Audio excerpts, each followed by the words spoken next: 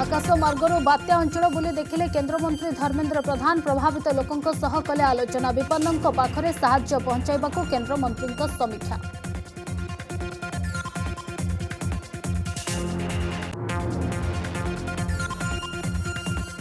ମହାମାରୀ ସହ ବାତ୍ୟାକୁ ଦୃଢ଼ତାର ସହ ମୁକାବିଲା କରିଛି ଦେଶ ମନ୍ କି ବାତ୍ କାର୍ଯ୍ୟକ୍ରମରେ ଦେଶବାସୀଙ୍କ ଧୈର୍ଯ୍ୟକୁ ପ୍ରଶଂସା କଲେ ପ୍ରଧାନମନ୍ତ୍ରୀ ନିଜ କଥା ଭୁଲି କରୋନା ଲଢ଼େଇରେ ସାମିଲ ଯୋଦ୍ଧାଙ୍କୁ ନମନ ରାଜ୍ୟରେ ବଢ଼ିବ କି ଲକ୍ଡାଉନ୍ ଆଜି ଅପରାହ୍ନରେ ଅତିରିକ୍ତ ମୁଖ୍ୟ ଶାସନ ସଚିବଙ୍କ ପ୍ରେସ୍ମିଟ୍ ଜୁନ୍ ଏକରେ ସରୁଛି ଲକ୍ଡାଉନ୍ ଅବଧି ଏପଟେ ରାଜ୍ୟରେ ନଅ ହଜାର ପାଞ୍ଚଶହ ଏକଚାଳିଶ ପଜିଟିଭ୍ ଚିହ୍ନଟ ତେତିଶ ମୃତ ସ୍ୱାସ୍ଥ୍ୟ ବିଶେଷଜ୍ଞ କହିଲେ ଆହୁରି ଦୁଇ ସପ୍ତାହ ତାଲାବନ୍ଦ ଜରୁରୀ ଚୀନ୍ରୁ ସିଧାସଳଖ ଭୁବନେଶ୍ୱର ଆସିଲା ଅକ୍ସିଜେନ୍ ସିଲିଣ୍ଡର ଟ୍ୱିଟ୍ କରି ସୂଚନା ଦେଲେ ପଶ୍ଚିମ ଓଡ଼ିଶା ବିକାଶ ପରିଷଦର ଅଧ୍ୟକ୍ଷ ଅସିତ ତ୍ରିପାଠୀ ପ୍ରଥମ ଥର ପାଇଁ ଚୀନ୍ରୁ ଦେଶକୁ ଆସିଲା ଅକ୍ସିଜେନ୍ ସିଲିଣ୍ଡର